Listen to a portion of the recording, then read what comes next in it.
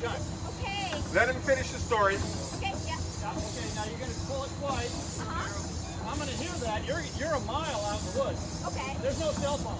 Uh, So they're a mile out there. This is the only communication we have. You're going to pull that twice, and I'm going to engage the machine, and we're going to start pulling logs in. okay. Okay, so give me two two. Alright. So then I would pull this over, and now the spool's turning, Watching the logs come down, and there's a big old rock. All these logs are going to get piled up behind a rock. What are you going to do? You're going to want have one big one, too. And I would release this, and then you'd have to go and dig that rock out of the ground.